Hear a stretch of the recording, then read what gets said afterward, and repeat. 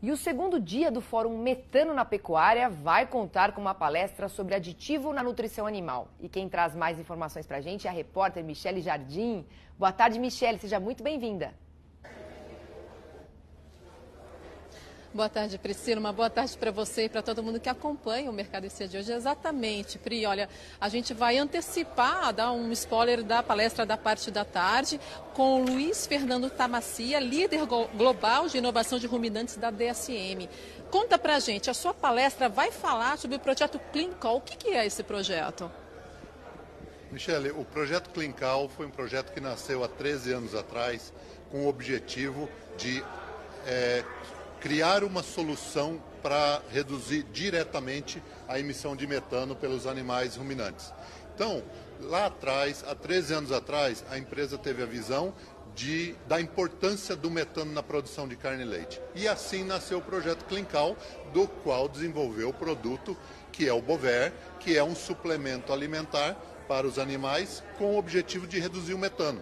Então a gente já estava preocupado com a questão do metano há 13 anos atrás. É um projeto de longo período, 13 anos, e eu posso dizer que é o projeto mais importante de inovação da empresa globalmente hoje. E a gente finalmente tem o Bover, que é o produto que facilmente pode ser aplicado uh, na dieta dos animais de produção de carne e leite. Fala um pouquinho mais sobre a importância do, do produto para a pecuária brasileira com relação à diminuição de metano.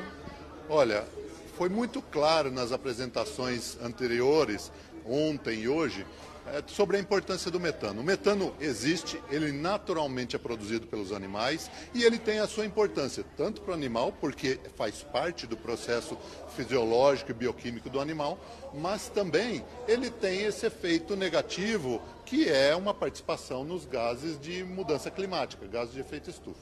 Então a gente tem como continuar produzindo carne e leite diminuindo essa, essa emissão de metano, que é um gás potente no, na, na, na mudança climática, e mantendo a produção, os animais saudáveis, com o bem-estar animal. Então é exatamente isso que o Bover faz. Qual a, qual a porcentagem de diminuição de metano do Bover? O Bover ele tem o objetivo, desde quando nasceu o projeto, de reduzir no mínimo 30% da emissão de metano nos animais.